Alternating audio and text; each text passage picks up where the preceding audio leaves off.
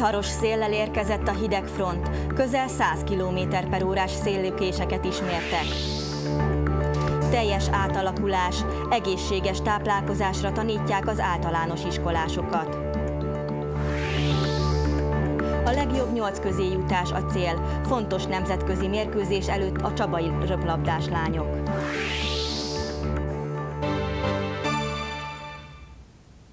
Jó estét kívánok! Önök a 7.tv híradóját látják. Tavaly november óta érzékelhetően megnőtt a határsértők száma, amelyek nagy része illegális bevándorló.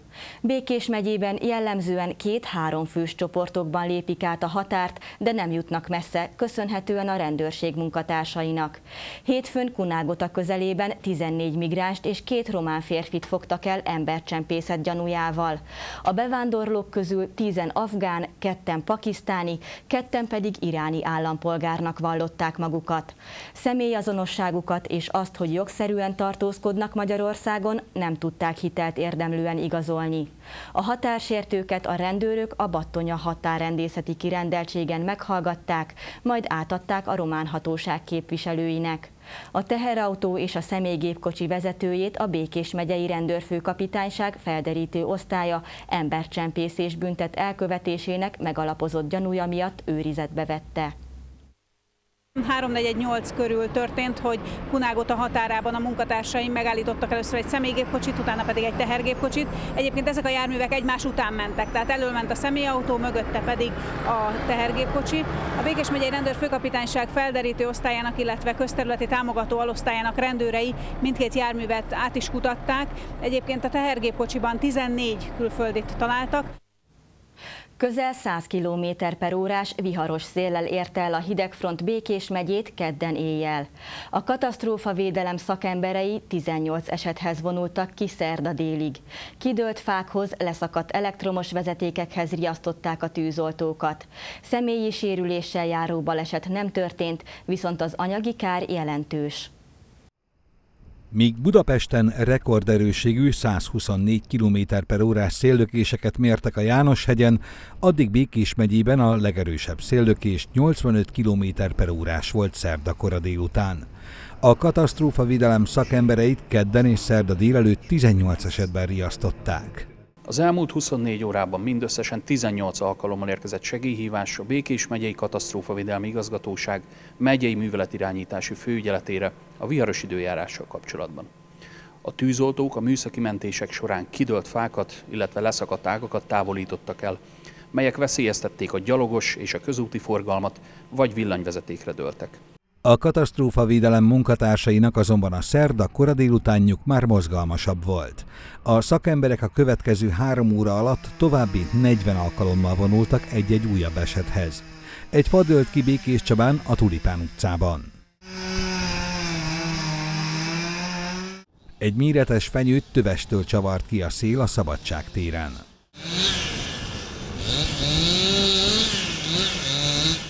Úgy szintén fenyőfa volt a szél áldozata egy Békés Csabai kertesház udvarán. Ugyanitt az utcafronton tört ketté a szél egy fűzfát. Széttört a kocsink, széttört a tetőnk. Ott itt az udvarban másik valami kidőlt, ugyanúgy rádölt a színre, ilyesmire. Nagyon sok kárunk keletkezett. Nem is tudom, hogy mi ezt hogy fogjuk megoldani, mit fogunk csinálni. Ebben az esetben sem volt személyi sérülés, viszont az anyagi kár jelentős. A meteorológiai szakemberek szerint a következő pár órában a maihoz hasonló időjárásra számíthatunk.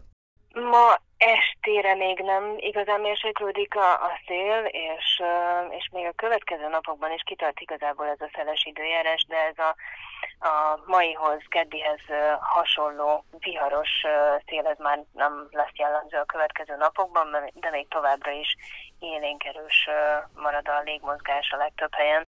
A viharos időjárásban a közlekedés sem egyszerű, sem a gyalogosoknak, sem a kerékpárosoknak, érdemes szélállóan és rétegesen öltözködni. Évtizedes hagyománya van hazánkban az iskola tejprogramoknak. Az egész országra kiterjedő kezdeményezés a tej és a tejtermékek fogyasztásának fontosságára hívja fel a diákok figyelmét. Ezek a diákok saját maguk veszik ki a hűtőből a kis teljes poharakat.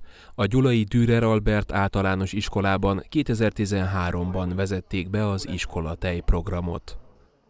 Egy héten, négy napon keresztül kapnak a diákjaink, mindenki számára biztosítva van tejtermék fogyasztása. Ez lehet iskolatej, vagy kakaós tej, vaníliás tej, gyümölcsjogurt és sajtkrém formájában. A tej a külön erre a célra kijelölt hűtőkbe kerül a reggeli órákban. Először az alsó tagozatosokhoz jut el, akik létszámra leosztva kapják meg, a felső tagozatosok pedig az intézmény konyhájában található hűtőből vehetik magukhoz a dobozokat, tette hozzá az intézményvezető. Csontosnél László Anikó elmondta, hogy az intézményben fontosnak tartják felhívni a diákok figyelmét az egészséges táplálkozásra. Ennek érdekében minden ősszel egy úgynevezett egészségnapot rendeznek az iskolában. Ez inkább az alsósoknál szokott lenni, de saláta van, jönnek a védőnők, előadásokat tartanak, ételpiramisról beszélgetnek. Az iskolatej program Magyarországon több évtizedes múltra tekint vissza. A tej terméktanács közel három évtizede népszerűsíti a tejfogyasztást az általános iskolások számára. A szervezet az idei évben egy új szemléletű edukációs rócsót is indított. 45 perces óra eh, egy, eduk, eh, egy dietetikussal és különböző játékokkal, élményekkel. Nyilván nem egy eh, akadémiai vagy egyetemi szintű előadásra kell gondolni, de tényleg az alsó tagozatosok nyelvén szóló, interaktív programok, megpróbálunk élményt adni, és az élményt összekötni néhány alapüzenettel. Minél fiatalabb korban találkoznak a gyerekek a tej és tejtermékek fogyasztásának előnyeivel, annál hamarabb lesz belőlük tudatos, egészségre törekvő fogyasztó, tette hozzá az ügyvezető igazgató. A Békés Csabai Jókai Színház Krúdi Gyula a Vörös Postakocsi című regényének adaptációját állítja színpadra. A darab olvasópróbáját kedden délelőtt tartották a színház vigadójában. A teátrum igazgatója az olvasópróba kezdetén elmondta, az idei évad a nagy vállalkozások sorozata. Kiemelte, egy regényből mindig nehéz színdarabot írni. Úgy gondolom, hogy a lényeget sikerült átmenteni a színpadra, a krúdi világa hamisítatlanul megjelenik benne. A színdarabot Csiszár Imre rendezi, aki hangsúlyozta, hogy a regény adaptációjából készült színdarabra ne a hagyományos értelemben gondoljunk, nincsenek nagy drámai konfliktusok a darabban. Az egész darab egyfajta hangulatot áraszt. Kródinál tudnélik ennek a hangulatnak a megtalálása, ez a döntő. Nem is a cselekmény a fontos, nem is annyira, hogy milyen drámai kifejlete van ennek a darabnak, de ahhoz, hogy megértsük, hogy mit akar nekünk sugalni Kródi, hogy mennyire rólunk, a mi világunkról, a mi kétségbeesett 21. századi világunkról szól, ahhoz meg kell, hogy értsük a Kródis hangulatot. A mű egyik főszereplője Alvinci Eduard gazdag földbirtokos, a másik főhőse pedig a kötetlen életet élő Link hírlapíró Rezeda Kázmér. A két figurában a férfi én kettősége jelenik meg. A darab női főszereplője Alvinci Estella. Négy színpadi kép követi végig a figurák történetét, amelyben végig meghatározó szerepe lesz a zenének és a mozgásnak. Ez részben, sőt leginkább mozgás színház lesz. Egyenőre nem tudom pontosan, hogy ez mit akar, de én nagyon szeretem a mozgás színházat. Nem is olyan nagyon régen a szó ebben, a, ennek, a szónak ebben a jelentésben, tehát nem is olyan régen jelent meg Magyarországon a fizikai színház, úgyhogy én nagyon hálás vagyok, amiért ilyen jellegű munkában is részt vehetek. A darab bemutatóját március 13-án tartják, amelyben Alvinci Eduard szerepét Bartus Gyula játsza, Rezeda Kázmérét pedig Citor Attila alakítja. A tradicionális és modern maszkok világa címmel nyílt kiállítás a Csaba Gyöngye Kulturális Központban. A tárlattal együtt elkezdődött a Csabai Farsang rendezvénysorozat is.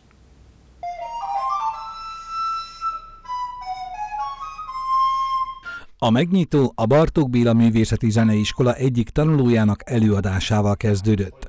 Szegedi Réka Panna Markus Zanhausen a Tavasz lehellete című művét mutatta be. A Csaba Gyöngye Kulturális Központ tíz kiállítót kért fel, akiknek a maszkjait és jelmezeit tekinthetik meg az érdeklődők, melynek viselése egészen az őskorig nyúl vissza elejtettek egy állatot, akkor a zsákmány állat bőrét viselték, ekkor a zsákmányállat helyébe próbálták magukat képzelni. Tehát ezeket a hagyományokat, illetve a különböző népek által készített maszkokat eleveníti fel ez a kiállítás, és hát alapvetően az üzenete a vidámság, a jókedv, tehát minden, ami a farsanggal kapcsolatos. A farsang vízkeresztől húshagyukeddig a nagybőjt kezdetéig tartó időszak elnevezése. Hagyományosan a vidám lakomák, bálok, mulatságok és népünnepélyek jellemzik. A farsang csúcspontja a karnevál, hagyományos magyar nevén a farsang farka. Magyarország legnevezetesebb eseménye a Mahácsi busójárás. Magyarországon és mint szerte Európában nagyon-nagyon régi hagyománya van a farsangnak.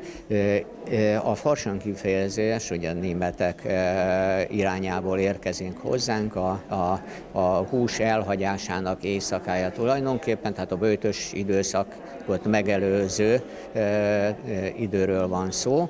A kiállítással a 18. Csabai Farsang program sorozat kezdődött el, amely egészen február 29-ig tart. 180. A darts közvetítések során sokszor halljuk ezt a kifejezést, hiszen ez a legtöbb pont, amit egy játékos három dobással elérhet. Az Angliából induló sportág egy, egyre népszerűbb Magyarországon, így Békés Csabán is.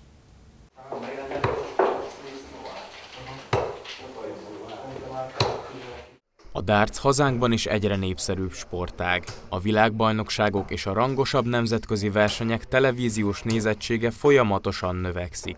Sokan nem tudják, hogy a megyeszékhelyen is űzhető ez a sport, amely egyáltalán nem kötött életkorhoz. A profik között vannak egészen fiatal és idősebb játékosok is. A Békés Csabai Darts Sport Egyesület tagjai egyre sikeresebbek.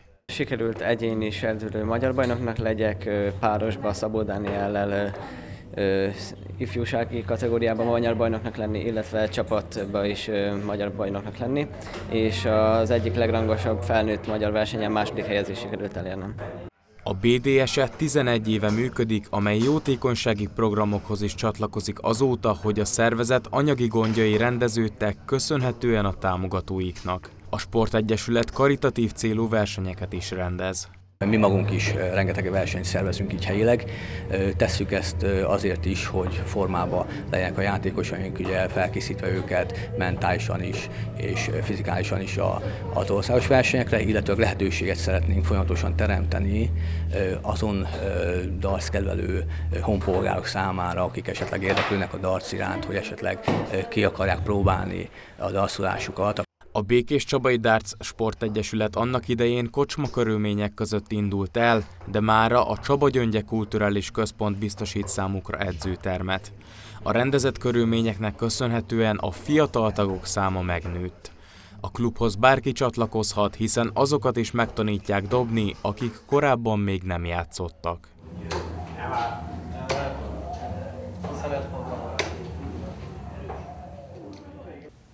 A legjobb nyolc közé jutás a cél. Ezzel a jelmondattal várja soron következő nemzetközi kupamérkőzését a Svitelszki Békés Csaba együttese.